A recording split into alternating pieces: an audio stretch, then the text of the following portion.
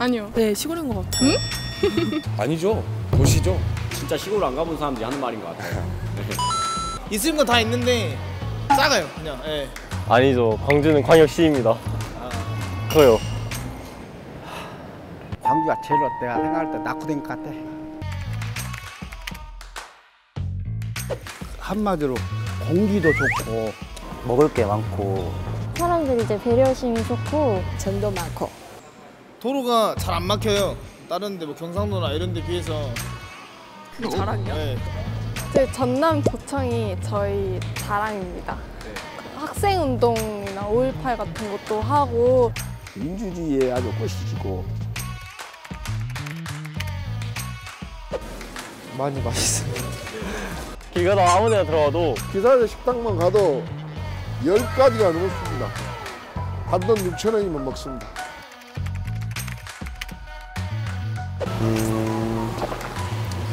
우리 엄마 집밥. 시내에 삼겹살집 맛쌈이라고 24시간 하는 오리탕 골목 좋아합니다. 또 강주 부동산 수박 무등산 수박은 일반 수박에 비해 무게가 대략 4배. 뭐 떡갈비? 홍어. 아유 먹고있어도 유명해요. 순대는 초장에 찍어서 먹어요. 소금은 맛이 풍미가 부족해요. 나는 상추 튀김. 어? 상티 사- 다른 사람이 들었을 때 상추를 튀긴 요리다라고 생각할 수 있지만 그게 아니에요. 오징어랑 야채가 조금 들어간 튀김에 약간 상추를 넣고 간장과 양파와 고추가 들어간 그런 양념장을 얹어서 먹는 싸먹는 그런 요리라고 할 수 있어요.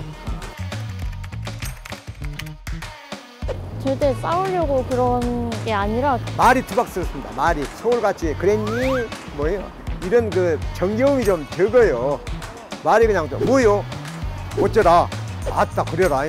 말이 좀 투박스러워서 그러지 가지고 있는 속마음은 정말 따뜻한 사람들입니다. 근데 서울이나 경기도 같이 정없어 보이는 것보다는 차라리 저희 말투가 더 나은 것 같은데 오빠 어, 왜 그래? 아 네. 예, 왜 맞아요. 정이었어? 예. 왜 민주주의 국가에서 말할 수 있는 거죠?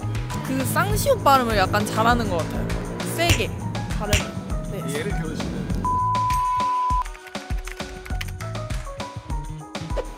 야 있냐? 인야를 되게 많이 쓰고 야, 열을 인야. 많이 붙여요. 어디요? 밥 먹었니? 뭐냐? 뭐 이렇게부터 제일 많이 쓰는 사투는 어메 반갑다, 뭐 어메 징그럽네. 그 뭐, 아, 예전에 거시기도 갖고 와라. 이런, 거, 이런 것들. 기분이 안 좋죠. 왜냐면 저희 저희가 직접적으로 한 건 아닌데 저희 부모님들 세대 그때 돌아가신 분들도 많으시고 네. 제 나이 또래 중에 부모님 안 계시는 분들 보면 하다가 참변 당해가지고 안 계시는 분들도 계시긴 하니까 네. 저도 이게 소심이지만 트라우마가 사고 있으니까 헬기 소리를 못 듣는다든가 공수 부대 군복을 보면 하기 깜짝 놀란다든가 정말 대단하신 거죠. 열심히 배워가지고 나중에 다른 사람한테도 알려드려야죠. 나중에. 특히